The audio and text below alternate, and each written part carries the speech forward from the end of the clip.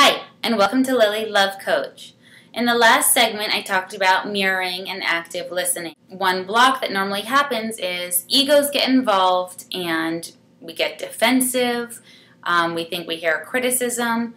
Again, I want you to be able to put your ego aside and listen to the following example so that you can really hear your partner and ultimately save the relationship, creating not only emotional intimacy, but eventually that translates into sexual intimacy. Duh! The hardest thing is when our egos get involved. If you hear your partner saying something like, I feel you're acting lazy when you don't want to come to the park with us and spend the Saturday hanging out. Or I feel that you're lazy when you're watching football and I could really use some help around the kids and I feel alone.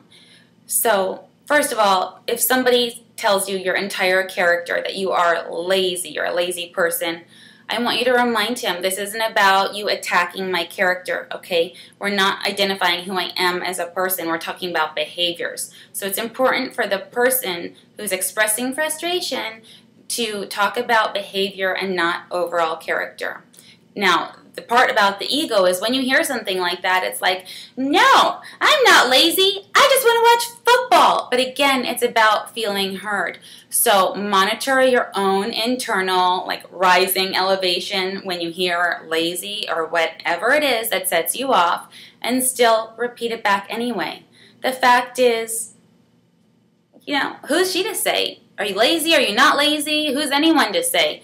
Ultimately, if you don't believe it about yourself, that's all that matters. You're not defending who you are as a person.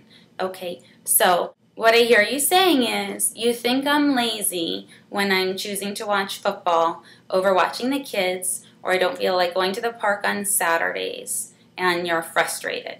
And then you might put in there, I'm sorry that you're feeling that way. You're not saying you know, I'm sorry, this is who I am, this is, you're not admitting you've done anything wrong, you're not saying you're a bad person, you're not telling her that you agree with her, you're lazy. You're just saying, I'm sorry you feel that way. Okay, I promise if you keep this up, sex will happen more often.